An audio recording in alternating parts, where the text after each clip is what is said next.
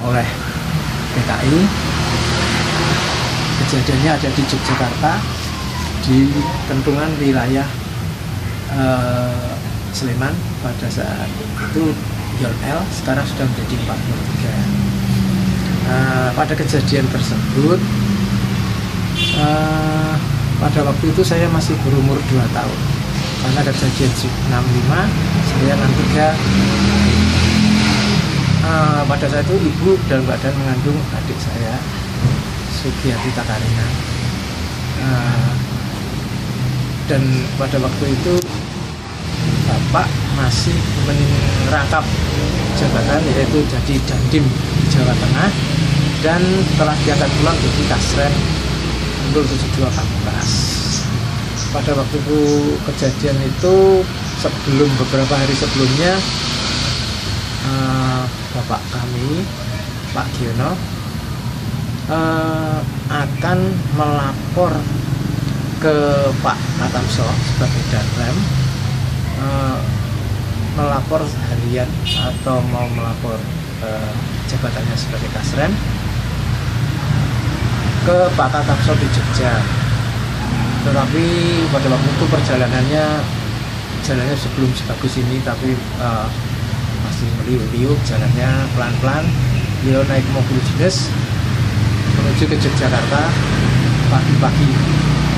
Nah, kemudian tetapi di jalan di Ambarawa sekitar Ambarawa Magelang itu di stop sama Pak Mayor Suryotomo pada waktu masih kapten ya kalau nggak salah itu Pak Suryotomo mengingatkan Pak Diono kalau Pak Diono tidak boleh melanjutkan ke Yogyakarta karena situasi kurang kondusif.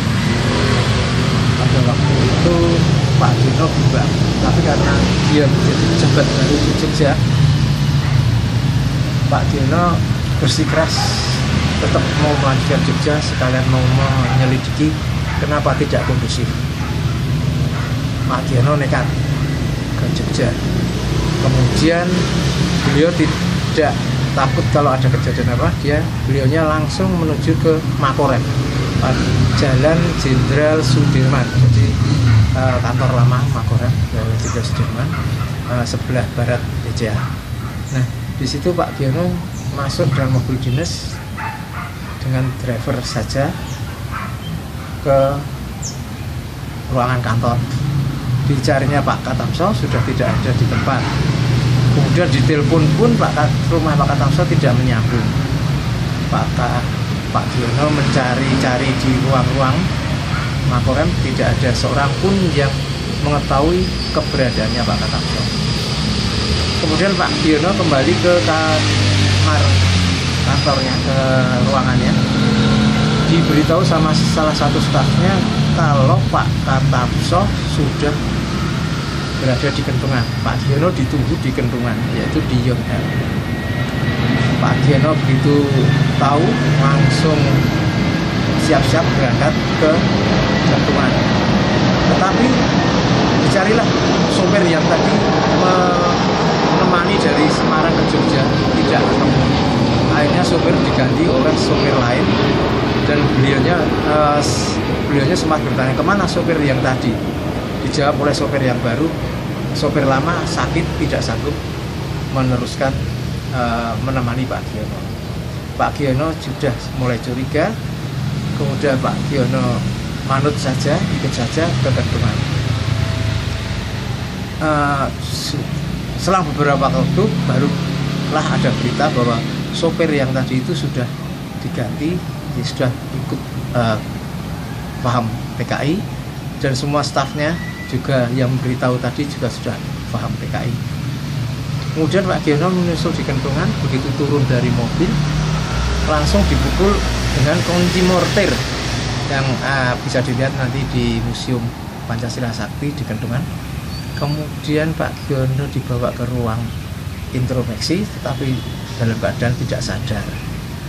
Beliaunya tetap tidak sadar, ditunggu beberapa waktu. Kemudian siang harinya Pak Giono uh, diikat tangannya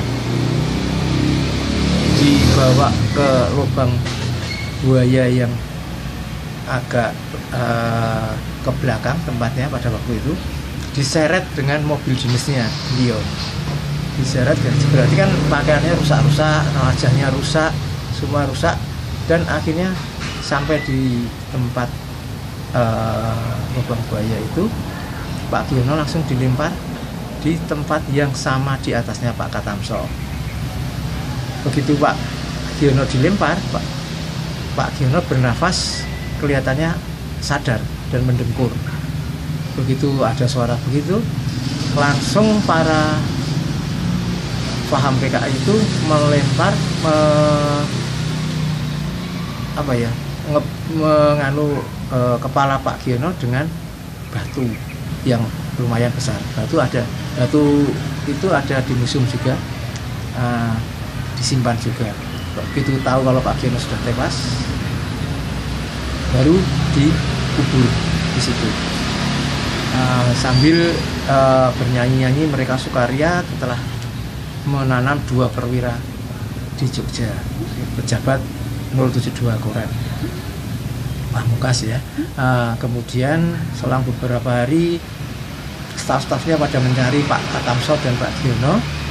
Tidak ketemu di mana-mana dan tidak tahu keberadaannya. Juga ibu kami ibu Sugiono sudah mencari-cari ke mana-mana juga tidak. Bu Katamso juga sudah komunikasi dengan ibu kami juga tidak menemukan. Kemudian ada salah satu anggota yang tahu persis di mana beliau-beliau berdua dibunuh atau ditanam. Pada salah satu anggota itu uh, menunjukkan tempat di mana Pak Giono ditanam yaitu dengan ada tanda pohon pisang yang berbuah tetapi layu jadi kami juga tidak tahu kalau itu adalah pohon pisang yang baru ditanam. Akhirnya para pejabat yang ada mencabut pohon pisang itu ternyata pohon pisang itu hanya separuh tidak ada akarnya. Dan di situ mereka baru percaya kalau di situ ada sebuah lubang yang baru uh, saja dibikin dan untuk persiapan pembunuhan. Akhirnya mereka para pejabat di Jogja pagi pagi buta sekitar jam 5 mulai me, e, mencangkul tempat itu dan akhirnya diketemukan Pak Katamso dan Pak Geno. Nah di sini bisa diketahui e, bagaimana mereka tahu kalau itu benar-benar Pak Geno dan Pak Katamso. Pada waktu Pak Geno di eksekusi Pak Giono masih memakai pakaian komplit yaitu pakai pakaian dinas ada nama ada pangkat jadi jelas-jelas itu Pak Giono dan uh, di dalam dompetnya pun surat-surat masih komplit di sakunya. Jadi berarti benar itu Pak Giono dan Pak Katam Sombran itu diangkatlah mereka dan di uh, bawa ke markas Mataram. Nah itu ceritanya dari sumber dan Bugiono pada waktu itu pada hari yang sama yaitu uh, begitu Pak Giono tidak mendapatkan Pak Katarso dan mendapat informasi kalau Pak Katarso ada di Kendungan uh, Pak Giono langsung menelpon ke Ibu Sugiono pamit tidak bisa makan siang di rumah langsung akan ke Kendungan mencari Pak Katarso nah hubungan menghubunginya dengan Bugiono waktu itu di rumah dinas selatan eh, timur Beridosono itu yang sekarang jadi rumah dinas dan kan melalui telepon ya telepon zaman dulu eh, pada ongkel hanya tiga nomor aja. Jadi terakhir komunikasi dengan itu ya pada saat mencari Pak Katamso jadi ya ada kata-kata dan cerita yang mungkin tidak berkenan di hati para wisatawan semua. Terima kasih dengan uh, kami bisa menerangkan